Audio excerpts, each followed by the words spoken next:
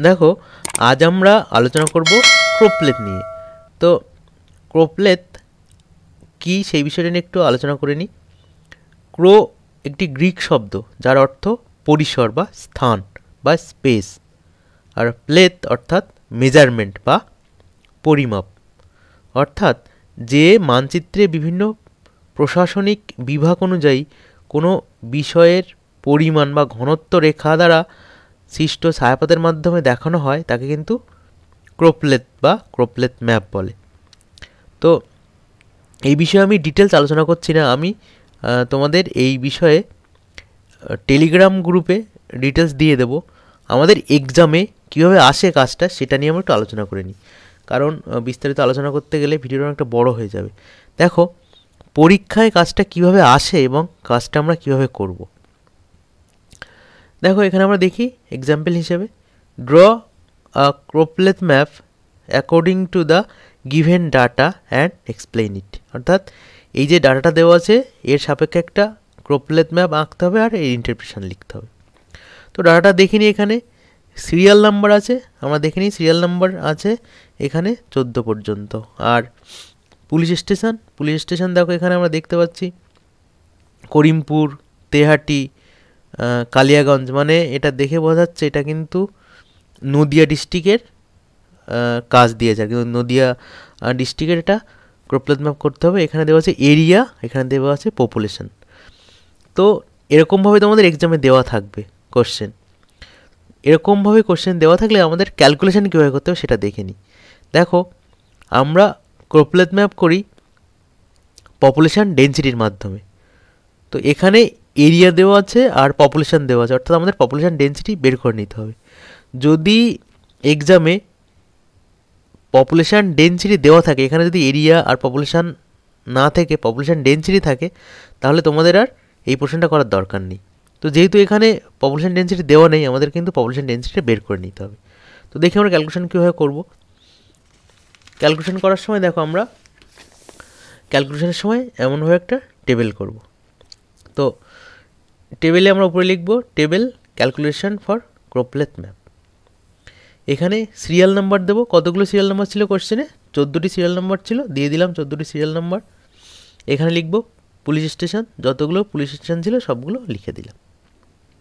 দেওয়ার পরে, এবার আমি এখানে লিখব এরকমভাবে population density per square kilometre.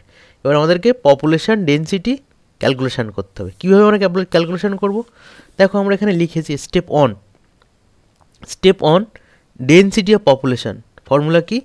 Population divided area তো স্টেপ ওয়ানে density of population formula population population divided area আমরা এক্সাম্পল দিই। প্রথমে দেখো করিমপুর রয়েছে। আমরা এখান থেকে দেখে নিই করিমপুর। এখানে ছিল করিমপুর। এরিয়া আছে কত? Four four five point seven আর পপুলেশন কত? Two four three six nine seven তো এখান থেকে আমরা এই ফর্মুলা বের করে এই ফর্মুলার সাহায্যে আমরা সব পপুলেশন ডেন্সিটি বের করে নেব।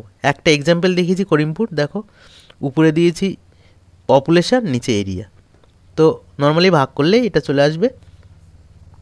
এটা আসলে আমরা এখানে এই যে করিমপুরের পপুলেশন ডেন্সিটি লিখে দিলাম। আর তারপরে লিখে দেবো আদার ক্যালকুলেশন আর সেম অন্য অন্য ক্যালকুলেশনগুলো কিন্তু আমরা এভাবেই করেছি, সেটা আমরা লিখে দেবো।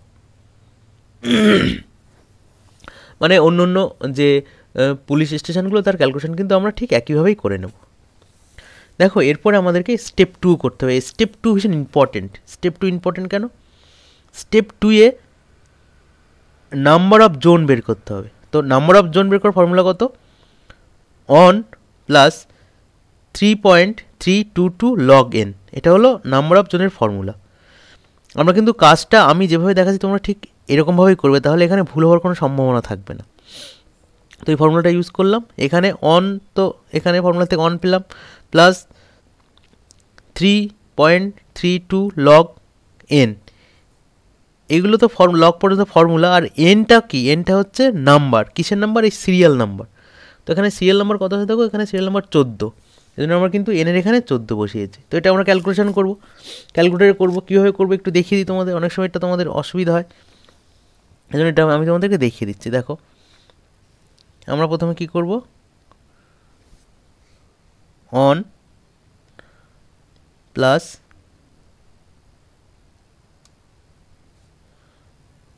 দেখো, আমরা এভাবে করে নেব। One plus three point three two two log দেখো এখানে লগ রয়েছে লগ এন পেস্ট করে দেবো এন এনের নাম্বার এন মানে কত এখানে? চোদ্দ। তোমরা চোদ্দ পেস্ট করে দিলাম। সরি এক, চার। ইকুয়ালস টু করলাম। দেখো এখানে মান এসছে কত? এখানে কিন্তু মান এসছে ফোর পয়েন্ট এইট জিরো তো আমরা এখানে একই রকমভাবে মানটা ফোর পয়েন্ট এইট জিরো লিখে দিলাম। এখানে একটু ইম্পর্টেন্ট রয়েছে, দেখো। ফোর পয়েন্ট এইট জিরো এখানে কিন্তু স্টেপ জোনে সরি নাম্বার অফ জোন এখানে কিন্তু আমাদেরকে রাউন্ড আপ করে নিতে হয় মানটাকে। মনে রাখবে এই মানটা সবসময় কিন্তু তোমাদের সঠিকভাবে রাউন্ড আপ করে নিতে হবে অর্থাৎ এখানে যদি মান যদি ফোর পয়েন্ট ফাইভ অন এখানে মান যদি ফোর পয়েন্ট ফাইভ ওয়ান বা তার বেশি হয়, তাহলে আমরা তারপরে রাউন্ড আপ করে একটা পাঁচ নিয়ে নেব। আর যদি আমরা মান যদি এখানে দেখি ফোর পয়েন্ট ফোর বা তার কম, তাহলে কিন্তু আমরা ফোরই রাখতাম। রাউন্ড আপ তোমরা নিশ্চয়ই জানো কম বেশি। তো এই রাউন্ড আপটা তোমরা খেয়াল রাখবে কারণ এই যে পাঁচটা জোন হবে, কটা জোন হবে, তারপরে কিন্তু পুরো ক্যালকুলেশন ডিপেন্ড করবে। এই জন্য এখানে কিন্তু তোমরা ভালোভাবে ফোকাস করবে। অবশ্যই এই জিনিসটা ভালোভাবে মাথায় রাখবে। এরপরে দেখো, এরপর আমাদের রেঞ্জ বের করতে হবে। রেঞ্জ বের করার নিয়ম কি? দেখো রেঞ্জ বের করার নিয়ম, আমরা এখান থেকে যে density of population population density বের করেছিলাম, সেটা কিন্তু আমরা এবার পুরো পপুলেশন ডেন্সিটির মধ্যে কোনটা হায়েস্ট তার পিছনে আমরা এইচ লিখে দেবো। কোনটা লোয়েস্ট তার পিছনে আমরা এল লিখে দেবো। এইচ হলো হায়েস্ট আর এল হলো লোয়েস্ট তো লেখার পরে আমরা এখানে আবার এখানে চলে আসি। রেঞ্জ রেঞ্জের ফর্মুলা কি দেখো? Highest population density minus lowest population density তো এখানে হাইয়েস্ট পপুলেশন ডেন্সিটি কত? দেখো আমরা এখানে পেয়েছি হাইয়েস্ট পপুলেশন ডেন্সিটি কার? নবদ্বীপের highest population density one eight three five point seven six তো লিখে দিলাম one eight three five point seven six lowest population density কার দেখো এখানে? লোয়েস্ট পপুলেশন ডেন্সিটি কিন্তু করিমপুরের কত? দেখো এখানে লিখে দিলাম five four six point seven seven তো এটাকে আমরা যদি বিয়োগ করি, তো বিয়োগ করলে কত পাবো? One two eight eight point nine nine তো এটা বললাম আমরা রেঞ্জ দেখো এবার এরপরে এরপরে আমাদেরকে কী করতে হবে? ক্লাস ইন্টারভ্যাল বের করতে হবে। তো ক্লাস ইন্টারভ্যালের ফর্মুলা কি? Range divided number of zone range calculation করে আমরা কত পেয়েছি? দেখো highest population density lowest population density বিয়োগ করে রেঞ্জ পেয়েছিলাম one two eight eight point nine nine তো এটা হলো রেঞ্জ আর জোন কটা পেয়েছিলাম? দেখো নাম্বার অফ জোন কটা পেয়েছিলাম? পাঁচটি। তো এখানে ফর্মুলায় কী আছে? Range divided number of zone তো আমরা এখান থেকে ফর্মুলা ব্যবহার করে রেঞ্জ লিখে দিলাম। One two eight eight point nine nine আর আমরা নাম্বার অফ জোন পেয়েছি পাঁচটি। তো এখানে ভাগ করলে আমাদের কিন্তু আসবে two five seven two five seven point seven nine তো এইভাবে আমরা এটা করব। এরপরে দেখো, এরপরে স্টেপটা খুব important step three class interval table step থ্রিতে ক্লাস ইন্টারভ্যাল টেবিল কীভাবে করব? প্রথমে আমরা এখানে গ্রেড লিখতে পারি বা জোনও লিখতে পারি। গ্রেড বা জোন মানে কতগুলো জোন হয়েছে, এটাই সব থেকে ইম্পর্টেন্ট দেখো। আমরা কতগুলো জোন বের করে নিয়েছিলাম? পাঁচটা জোন হয়েছে। ওই জন্য আমরা গ্রেড বা জোন লিখলাম কত? এক, দুই, তিন, চার করে পাঁচ। এই যে, আমাদের আগে পাঁচটি জোন বেরিয়েছিল, পাঁচটি জোন এই জন্য আমরা এটা জোনও লিখতে পারি বা গ্রেড লিখতে পারি, লিখে নিলাম। এরপর লিখব কি? Population density population density square kilometre এরপর আমরা এখানে লিখব সিরিয়াল নাম্বার এসএল নাম্বার বা serial number of the police station এটা আমাদের করতে হবে। কীভাবে করব? তোমরা একটু মন দিয়ে শোনো। তোমরা বিষয় যদি একটু ভালোভাবে বোঝার চেষ্টা করো, খুব সহজে হয়ে যাবে। তো আমাদের grade one grade two grade three grade four grade five grade ওয়ানে আমরা পপুলেশন ডেন্সিটি কত লিখব? কীভাবে করব? ভালোভাবে শুনবে। এখানে যে ক্লাস ইন্টারভ্যাল বেরিয়েছে ক্লাস ইন্টারভ্যাল কত বেরিয়েছে? Two five seven point nine seven nine এই ক্লাস ইন্টারভ্যাল আর এখানে lowest population density lowest population density আর এই ক্লাস ইন্টারভ্যাল আমরা যোগ করব। দুশো সাতান্ন দুশো সাতান্ন প্লাস লোয়েস্ট পপুলেশান ডেন্সিটি সব থেকে লোয়েস্ট কম পপুলেশান ডেন্সিটি পাঁচশো ছাপ্পান্ন সরি পাঁচশো ছেচল্লিশ। এ দুটো অ্যাড করলে যোগ করলে কথা হচ্ছে দেখো আটশো তিন। ঠিক আছে? আটশো তিন। তো আটশো তিন আমরা কীভাবে আটশো তিন পেলাম? আবার একবার বলে দিচ্ছি, আটশো তিন অর্থাৎ প্রথম এই পপুলেশন ডেন্সিটি কীভাবে পেলাম? ক্লাস ইন্টারভ্যাল আর লোয়েস্ট পপুলেশন ডেন্সিটি এর মধ্যে সবথেকে লোয়েস্ট পপুলেশন ডেন্সিটি যে পপুলেশন ডেন্সিটি তার মধ্যে লোয়েস্ট যে, সে দুটো আমরা যোগ করে পেলাম আটশো তিন। এই যে যোগ করে পেলাম আটশো তিন। আটশো তিন আমরা রাউন্ড ফিগার এখানে লিখলাম আটশো লেস দেন আটশো। তো আটশো তিন আমরা রাউন্ড ফিগার এখানে লিখলাম লেস দেন আটশো। এরপর আমরা কি করব? জাস্ট তার পরের এখানে মানে জাস্ট তার পরের জোনে লিখব, জোন টুতে আটশো এক। মানে এখান থেকে আটশোর সঙ্গে এক বাড়িয়ে দেবো, এর সঙ্গে থেকে যোগ করব কত? আটশোর সঙ্গে যোগ করে দেবো। এই যে মানটা বেরিয়েছে, অর্থাৎ এই যে ক্লাস ইন্টারভ্যাল বেরিয়েছে, এটাকে রাউন্ড রাউন্ড আপ করব। এ রাউন্ড ফিগার করলে কত হয়? দুশো সাতান্ন যদি রাউন্ড ফিগার করি দুশো পঞ্চাশ হয়, দুশো পঞ্চাশ। তো আটশোর সঙ্গে দুশো পঞ্চাশ যোগ করলে কত হবে দেখবে? হাজার পঞ্চাশ। পরের ঘরে কী লিখবে? হাজার পঞ্চাশের সঙ্গে এক বাড়িয়ে দেবো। হাজার একান্ন হয়ে যাবে। হাজার একান্ন থেকে এর সঙ্গে আবার কত যোগ করব? আবার এই মানটা যেটা নিয়েছিলাম, দুশো পঞ্চাশ মানে দুশো সাতান্নকে রাউন্ড ফিগার দুশো পঞ্চাশ নিয়েছিলাম। এর সঙ্গে আবার দুশো পঞ্চাশ যোগ করে দেবো, দিয়ে তেরোশো পাবো।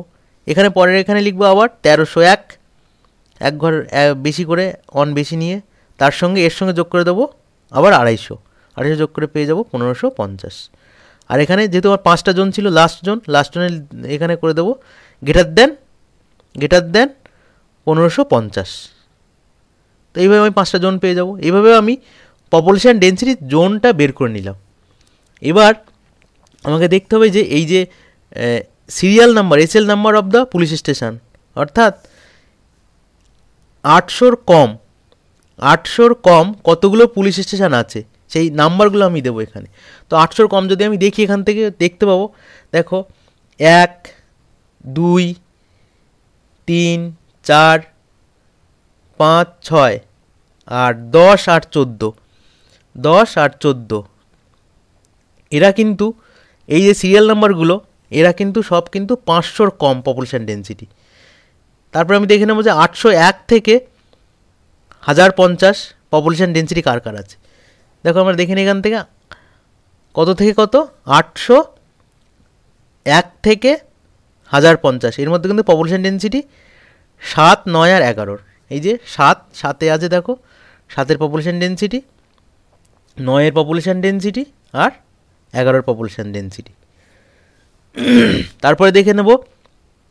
এরপরে হাজার একান্ন থেকে তেরোশো পর্যন্ত কার কার পপুলেশন ডেন্সিটি রয়েছে? সেখানে আমরা দেখতে পেলাম বারোর পপুলেশন ডেন্সিটি রয়েছে। তেমনি তেরোশো এক থেকে পনেরোশো পর্যন্ত, পনেরোশো পঞ্চাশ পর্যন্ত সরি এখানে তেরোর পপুলেশন ডেন্সিটি আগে বারোর পপুলেশন ডেন্সিটি ছিল আর পনেরোশো পঞ্চাশের বেশি কিন্তু আট। আটে কে আছে? নবদ্বীপ এর পপুলেশন ডেন্সিটি মানে সবথেকে হাইয়েস্ট এভাবে কিন্তু আমাদের এখানে পপুলেশান ডেন্সিটিগুলোকে কিন্তু সব জোনিং করে নিতে হবে। হ্যাঁ এখানে একটা জিনিস মনে রাখতে হবে যে এখানে আমরা যে গ্রেড করব বা জোন করব, প্রত্যেকটা জোনে কিন্তু একটা করে পপুলেশন ডেন্সিটি ন্যূনতম একটা।